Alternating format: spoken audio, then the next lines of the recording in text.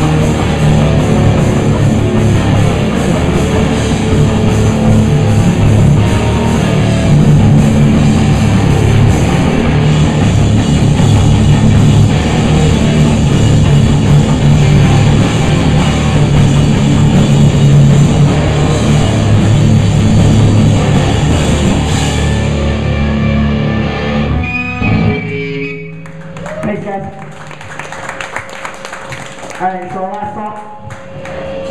Our last song is uh, about a kid from Collie High School. Passed away a while back. But I didn't know it too well, so I can't really do this on justice. So the old vocalist Arise is gonna do it for me. So here you go.